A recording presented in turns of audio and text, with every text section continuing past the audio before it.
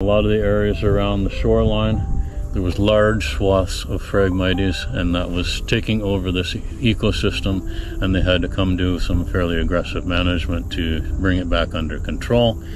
Once they did control it from the seed bank, because they had put in hundreds of different species into the ecosystem, that seed bank was still there. And so when you remove the Phragmites, then all of that spe- those species came back up again and what you're seeing is, is a healthy wetland after the control of Phragmites.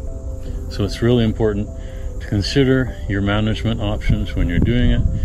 If you had let this go into Phragmites, the Phragmites would have probably taken over most of the wetland habitat and you would have much lower biodiversity and we even find things that because Phragmites is so dense that things like turtles can get stuck within them and then they die.